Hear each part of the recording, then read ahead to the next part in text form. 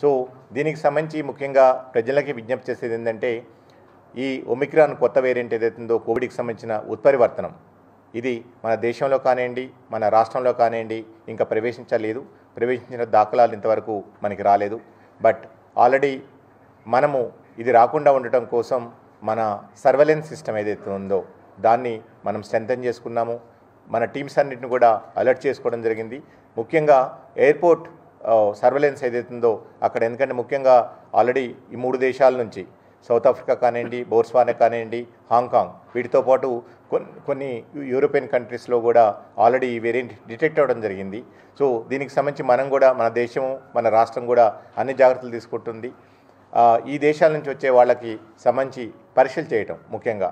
ఎవరైతే fully vaccinated ఉంటారో వచ్చారో వాళ్ళని ఇంటికి తీసుకువెళ్ళేసేసి వాళ్ళని హోమ్ క్వారంటైన్లో పెట్టేసేసి వాళ్ళని పూర్తిగా మానిటర్ చేయటం.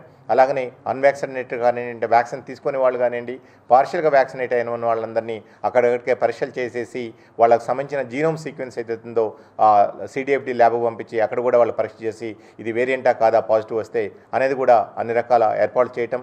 అది ఆ సిస్టమ్ అంతా కూడా స్ట్రెంథన్ చేసుకుని గత రెండు రోజుల నుంచి కూడా మనం మానిటర్ చేస్తూ ఉన్నాం.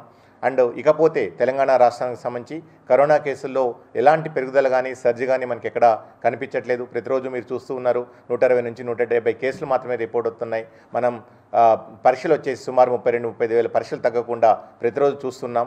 కాబట్టి ఈ వేరియంట్కి సంబంధించి మనం జాగ్రత్త తీసుకోవాలి. పూర్తి అప్రమత్తగా ఉండాలి. అది రాష్ట్ర ప్రభుత్వం కానివ్వండి ప్రజలు కానివ్వండి. దానికి సంబంధించి రాష్ట్ర ప్రభుత్వం అన్ని రకాలుగా జాగ్రత్తలు తీసుకుంటుంది. దీంతోపాటు ప్రజలు ఏదైతే జాగ్రత్తలు తీసుకోవాలో ఆ జాగ్రత్తలను కూడా మనం కంటిన్యూ చేయాలి. అండ్ ఆల్రెడీ మనం ఇంతకుముందే అంటే త్రీ మంత్స్ ఫోర్ మంత్స్ బ్యాకే మనం థర్డ్ వేవ్ వస్తుందనే ఉద్దేశంతో మనం కంప్లీట్గా ఒక ప్లాన్ ఆఫ్ యాక్షన్ ప్రిపేర్ చేసుకొని దాన్ని ఎదుర్కోవడం కోసం అన్ని రకాల జాగ్రత్తలు తీసుకున్నాం. దానికి సంబంధించి టెస్టింగ్ రిలేటెడ్ అనుకోండి సర్వేలెన్స్ రిలేటెడ్ అలాగనే హాస్పిటల్ ప్రిపేర్నెస్ ముఖ్యంగా. చిన్నపిల్లల్లో వస్తుందని చెప్పేసి కూడా మనం అనుకోవడం జరిగింది కాబట్టి దానికి సంబంధించి కూడా మనం అన్ని రకాల జాగ్రత్తలు ఆల్రెడీ తీసుకున్నాము. వాటికి సంబంధించి కూడా గౌరవనీయులైన మంత్రివర్యులు పూర్తిగా డీటెయిల్డ్గా డిస్కస్ చేయడం జరిగింది. ఇంకా ఎక్కడెక్కడైనా చిన్న చిన్న గ్యాప్స్ ఏవైతే ఉంటే వాటిని కూడా కంప్లీట్ చేసుకోమని చెప్పి చెప్పడం జరిగింది.